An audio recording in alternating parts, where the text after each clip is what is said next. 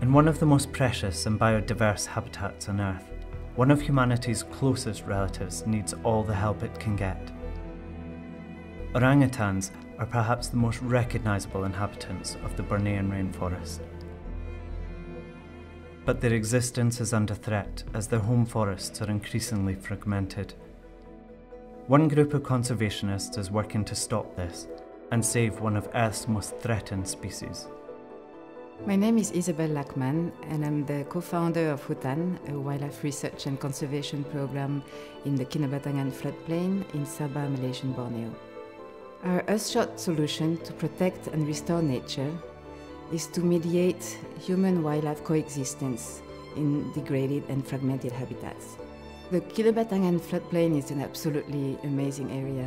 We have a huge diversity of uh, uh, wildlife. Past human activities have resulted in the loss of habitat and most importantly the fragmentation of the remaining patch of forest. So we have estimated that the orangutan population in Kinabatangan have decreased by more than 70% in the past 60 years. The wildlife that lives in these small patches of forest at the moment have no way to move from one fragment of forest to the other. A fragment of forest will uh, be the home of 5, 10, 20, sometimes 50 orangutans. Males need to disperse and move to another territory to find unrelated females. Orangutans trapped in a pocket of forest eventually will all be uh, related. So that's a huge threat uh, the, for the conservation. We have several pilot projects going on with communities, with oil palm plantations. Through these projects, we can demonstrate that coexistence is possible.